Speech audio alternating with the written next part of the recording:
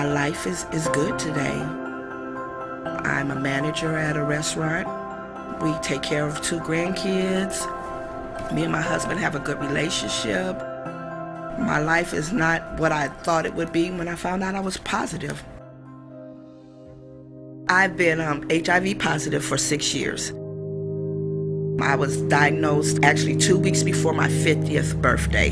My first response was anger. I was really angry at my husband.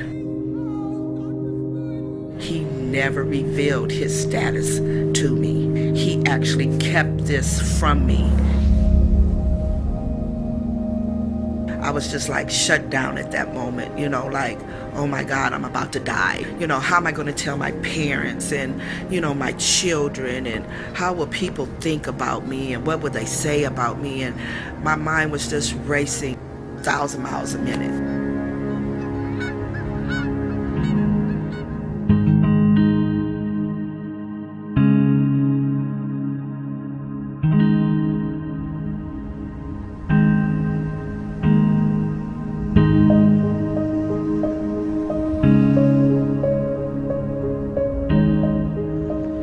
But the one thing about it that really stuck out to me was when the lady told me that HIV is not a death sentence these days.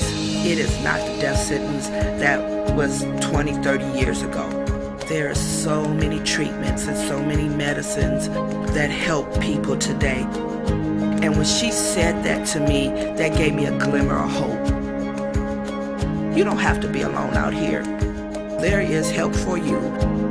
Whatever it is, the project has it for you.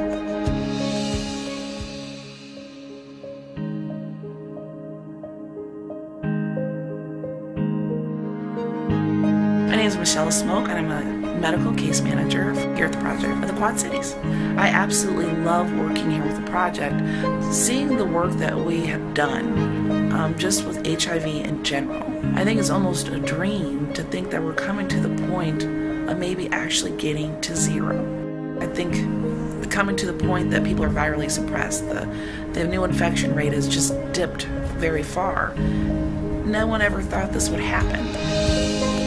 In the beginning, they had offered me support systems. They had offered me counseling for, you know, like for myself being with my husband. We're still together, and that comes from a lot of the counseling that we got here from the project.